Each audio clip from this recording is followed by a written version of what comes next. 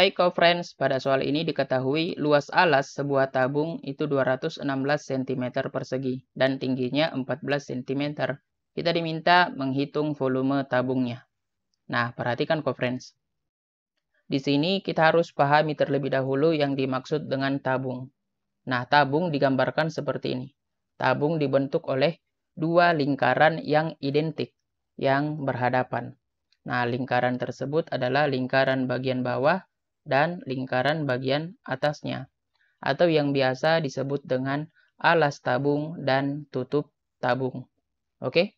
Nah, kemudian terdapat persegi panjang yang mengelilingi kedua lingkaran yang tadi. Nah, persegi panjang ini yang disebut dengan selimut tabung. Nah, jadi seperti inilah yang dimaksud dengan tabung.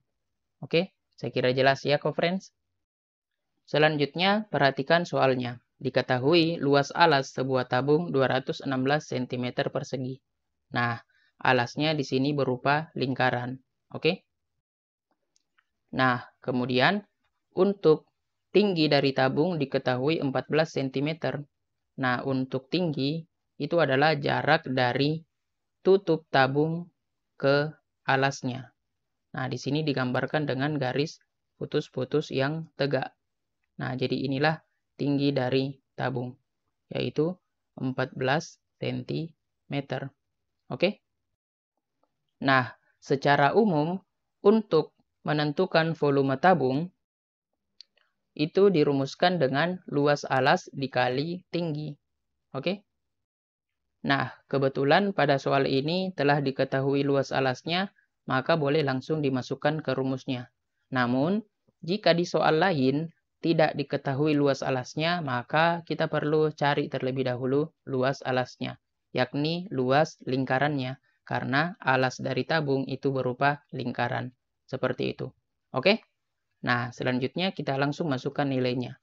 Untuk luas alas itu 216 cm persegi dikali tinggi tabung 14 cm. Nah, untuk 216 dikali 14, di sini kita akan gunakan perkalian bersusun. Kita coba hitung sama-sama ya, biar lebih mudah. Nah, 4 dikali 6, hasilnya 24. 4-nya kita tulis, 2-nya kita simpan. 4 dikali 1, 4, ditambah 2, kita dapat 6. Kemudian 4 dikali 2, kita dapat 8. Nah, selanjutnya 1 dikali 6, kita dapat 6. 1 dikali 1, kita dapat 1. 1 dikali 2 kita dapat 2. Nah, selanjutnya ini kita jumlahkan. 4-nya langsung turun karena di bawahnya kosong. 6 tambah 6, 12. 2 simpan 1. 1 tambah 8, 9. Ditambah 1, 10. 0 simpan 1. 1 tambah 2, 3. Jadi kita dapat hasilnya adalah 3024. Nah, kemudian untuk satuannya di sini cm kubik. Karena cm persegi dikali cm jadi cm kubik. Nah, inilah volume tabung pada soal ini.